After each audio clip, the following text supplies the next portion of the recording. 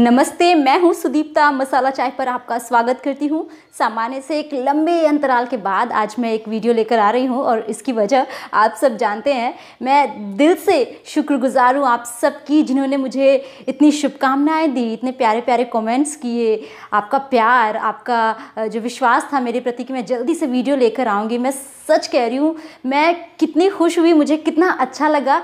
इसके लिए मेरे पास शब्द नहीं है, शायद मेरे चेहरे की मुस्कुराहट, मेरी हँसी मेरी भावनाएँ व्यक्त कर सके। सच कहूँ तो इस वीडियो में मुझे शायद और वक्त लग जाता और लंबा समय लेती मैं, लेकिन वो आप सबका प्यार था, वो आप सबका इंतज़ार ही था जो आपके शब्दों में कमेंट्स में मुझे झलक रहा था। मैं यहाँ आते ही मतलब शादी के बाद मैं यहाँ पर ग्वालियर शिफ्ट हो गई हूँ, बनारस में नहीं हूँ। मैंने अगले ही दिन एक किताब उठा ली। मेरी व्यस्तता तो मुझसे ये कहती थी कि मैं कोई हल्की फुल्की से किताब उठाऊँ और एक छोटा सा वीडियो बना दूँ, लेकिन ज़रूरी था मुझे खुद में वापस आने के लिए, क्योंकि पहली बार मैंने इतना लंबा समय बिना किताबों के गुजारा है कि मैं एक ऐसी किताब उठाऊँ जो मेरा पूरा वक्त ले सके और जो मेरे वक्त का सबसे अच्छा उपयोग साबित हो सके। तो मैंने उठाई अरुंधति रॉय की लिखी The God of Small Things का हिंदी अनुवाद मामूली चीज़ों का देवता राजकमल पेपर बैग से प्रकाशित हुई है। हिंदी अनुवाद किया है नीलाभ अश्क ने। 1997 यानी कि उन्नीस में बुकर पुरस्कार से इसे सम्मानित किया गया। इस किताब का बहुत परिचय देने की मुझे ज़रूरत नहीं है, ये मैं जानती हूँ। ये उन किताबों में शामिल है जो बेहद चर्चित रही हैं और जिसे हर इंसान एक बार ज़रूर पढ़ना चाहता है। कम से कम इसलिए तो ज़रूर ही कि वो ये कह सके कि उसने The God of Small Things पढ़ी है। लेकिन हाँ अगर आप ये सोचकर कोई किताब उठाते हैं ना कि आप ये कह सके कि मैंने पढ़ी है तो उस किताब का अंत अक्सर इन बातों से होता है कि ठीक थी मज़ा नहीं आया, थोड़ी मुश्किल थी।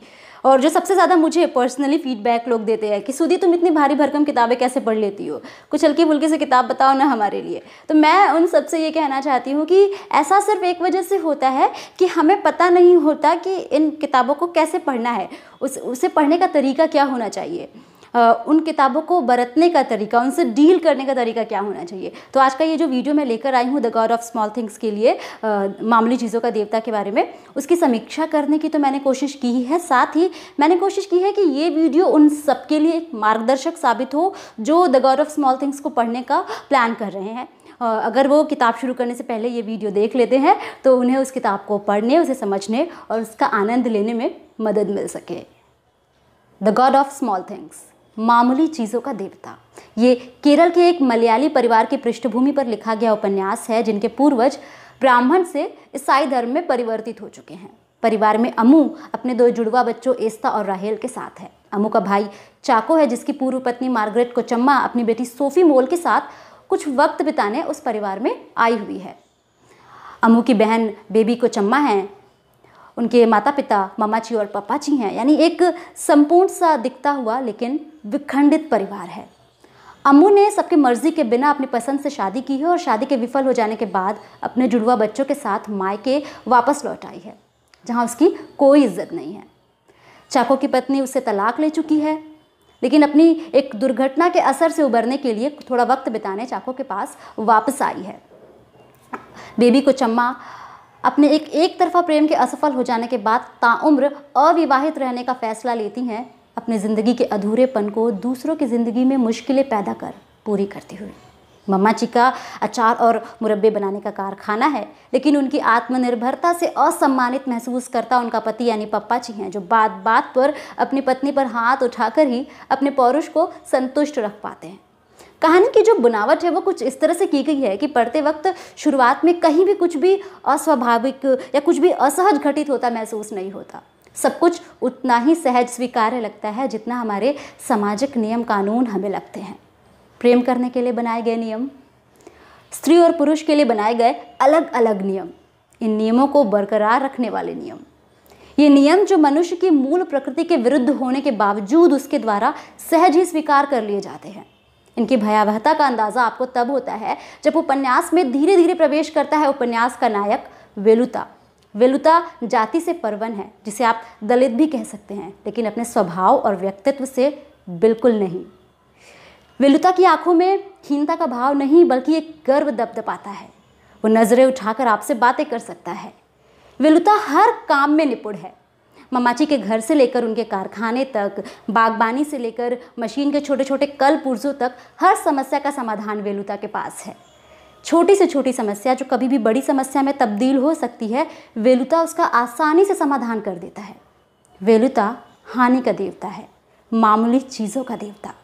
The God of Small Things God of loss things अपनी स्वस्थ और आधुनिक सोच का परिचय देते हुए मम्माची वेलुता को अपने घर में आने और वहाँ उसे स्वच्छंद विचरने की पूरी छूट देती हैं। लेकिन वो जाति का पर्वन है, लिहाजा उससे उसकी सीमाओं में रहने की उम्मीद की जाती है। फिर सीमाएँ टूटती हैं। वेलुता की अमू से बढ़ती नज़दीकी और इसी दौरान चाको की बेटी सोफ़ी मोल की अचानक हुई मौत घटना को एक बिल्कुल ही अलग रूप दे देता है। यहीं से कहानी में एक विभत्स मोड़ की शुरुआत होती है। ये किताब एक स्त्री द्वारा खुद को मुक्त कर लेने की, एक दलित द्वारा खुद को मनुष्य के रूप में स्वीकार कर लेने की आकांक्षा के दमन की गाथा है। ये सांप्रदायिक तत्वों, रूढ़ियों और सामंती सोच तले इंसानों का वो हाहाकार है जो आज भी दबी आवाज़ में कहीं ना कहीं छिपा हुआ है। जब आप ये उपन्यास पढ़ते हैं तो आप इसका अंदाज़ा लगा पाते हैं। पढ़ते वक्त हो सकता है कि घटनाओं का बिखराव आपको इसका मूल कथानक समझने में थोड़ी मुश्किलें पैदा करे, आपको थोड़ा वक्त लगे। यहाँ मेरी सलाह आपको यही है कि एक एक लाइन का अर्थ निकालने के बजाय अगर आप एक एक अध्याय में छिपी त्रासदी समझने की कोशिश करेंगे, उसका मूल भाव पकड़ने की कोशिश करेंगे तो आपको मदद मिलेगी।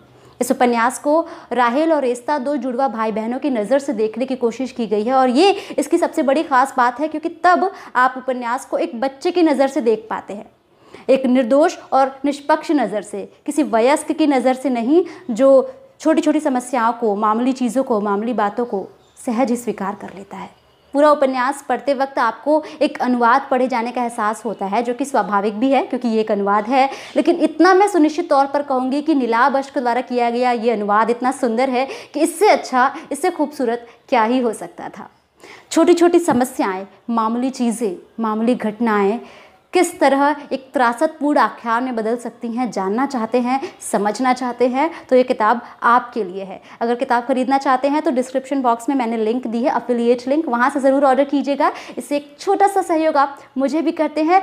एक और रिक्वेस्ट आपसे करूँगी कि अगर आपने किताब पढ़ ली है तो ये कैसी लगी आपको, ये आप मुझे ज़रूर कॉमेंट बॉक्स में बताइएगा, अच्छी लगी या नहीं अच्छी लगी, जो भी आपके विचार हो। लेकिन अगर आप इस वीडियो को देखने के बाद ये किताब पढ़ते हैं तो आपको इस वीडियो से कितनी हेल्प मिली? अगर कोई हेल्प मिली या नहीं मिली वो मैं ज़रूर जानना चाहूँगी। तो ऐसा होगा तो प्लीज़ वापस आके एक बार आ, मुझे कमेंट बॉक्स में ज़रूर बताइएगा कि मेरे वीडियो से आपको किताब पढ़ने में कोई मदद मिली या नहीं। मुझे बहुत अच्छा लगेगा। अभी के लिए बस इतना ही कहूँगी कि अगले वीडियो का इंतज़ार कीजिए। जल्दी ही लेकर आने की कोशिश रहेगी मेरी। इसके अलावा इंस्टा पे और फेसबुक के मसाला चाय पेज पर भी फॉलो करना मत भूलेगा लिंक डिस्क्रिप्शन बॉक्स में है। वीडियो को लाइक करना मत भूलेगा अपने दोस्तों में शेयर कीजिएगा। और अभी तक रेड बटन पर क्लिक नहीं किया है तो मुझे उम्मीद है अब कि आप ज़रूर कर लेंगे। चलती हूँ, अपना ढेर सारा ख्याल रखिएगा और ढेर सारी किताबें पढ़ते रहिएगा। Bye bye